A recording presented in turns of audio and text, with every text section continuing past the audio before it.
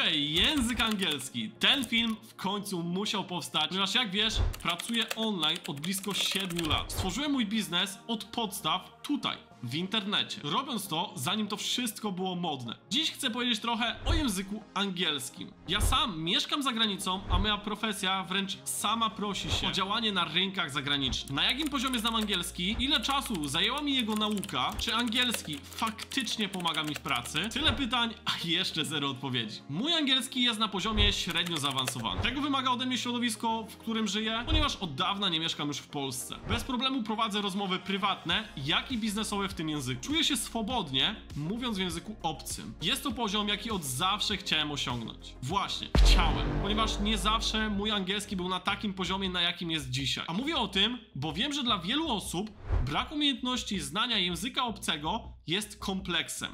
I moim również to było. Wiem też, że z perspektywy osoby, która na co dzień mieszka w Londynie, no to może łatwo jest to mówić. Kiedy otaczasz się tym językiem od lat i po prostu jest to dla mnie naturalne. Natomiast przyjeżdżając tu, miałem ogromną barierę. I mimo z tych sprzyjających okoliczności, to nauczenie się języka komunikatywnie zajęło mi naprawdę sporo czasu. I to, co dla nas, Polaków, jest najtrudniejsze, to bariera. Mamy w sobie żyłkę profesjonalisty i każdy błąd traktujemy bardzo serio. Podczas gdy Anglicy nie zwracają na to zbyt dużej uwagi. Co więcej, jest to zupełnie normalne, nawet w innych krajach. A wiem to, ponieważ mam wielu znajomych, którzy wyjechali i mieszkają na stałe w innych krajach, jak Norwegia, Dania czy Niemcy. I dzisiaj w tym nagraniu chciałbym Ci powiedzieć o tym, co pomogło mi najbardziej? Po pierwsze, nauka z native speakerem. Domyślam się, że większość osób, która ogląda to nagranie, ma już jakieś podstawy. Dlatego bardzo szczerze polecam wam rozmowę z kimś, kto po prostu nie mówi po polsku. To, co jest super, to jest to, że jedyny sposób komunikacji między wami, no to jest po angielsku. Chcąc, nie chcąc,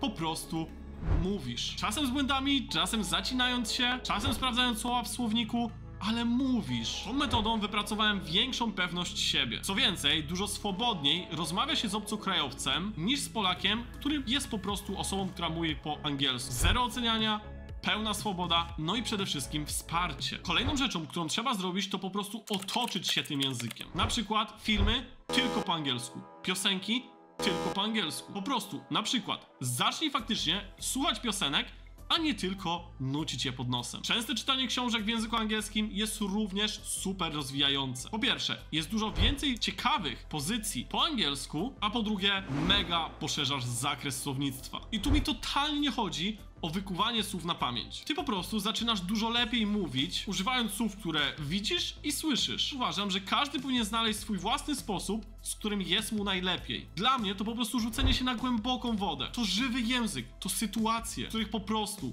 nie masz wyjścia. To, co mocno popchnęło rozwój mojego języka, to po prostu zwykłe rozmowy z osobami, które nie są Polakami. Po prostu musiałem przekonać barierę i zacząć mówić na luzie. Najpierw o rzeczach takich super bazowych, po kolei przechodząc do tych trudniejszych. To było dla mnie naturalne. Nienaturalnym natomiast jest rozmawiać na tematy, których normalnie nie poruszasz na co dzień. A niestety, spora ilość zajęć tak właśnie wygląda. Dlatego zachęcam do tego, abyś mógł znaleźć osobę, z którą masz podobne zainteresowania. Być może jesteście w podobnym wieku i potraktować tę godzinę z tym znajomym w tygodniu jak takie spotkanie ze znajomym, ok?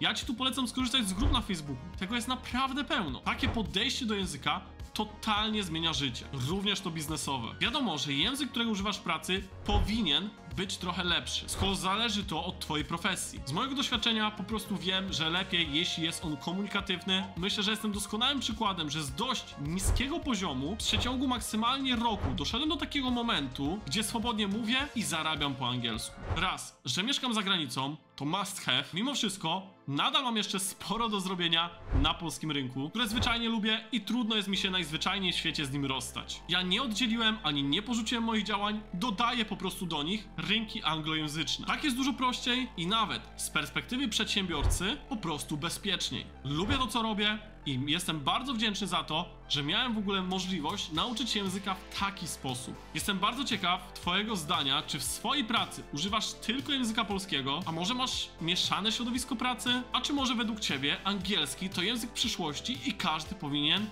posługiwać się nim biegle. Koniecznie daj znać w komentarzu. Dzięki za dzisiaj, pozdrawiam, Oskar Litwin.